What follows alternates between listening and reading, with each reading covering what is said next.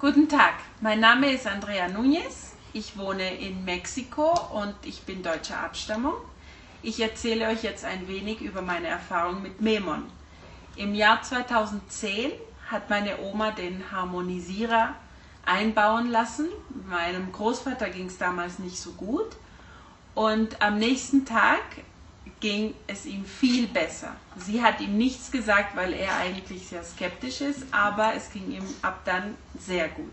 Und später, im Jahr 2016, hat meine Mutter ihn einbauen lassen, den Harmonisierer, weil sie sehr viel am Computer arbeitet.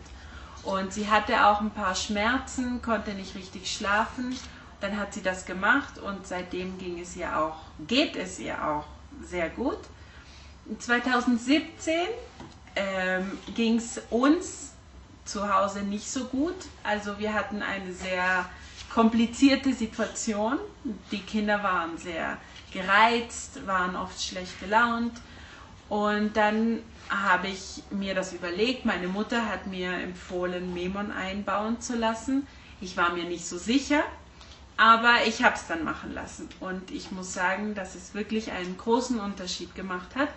Vor allem die Luft war früher hier im Haus sehr schwer und es gab immer einen muffigen Geruch. Also man kam rein und es war eigentlich nicht sehr angenehm.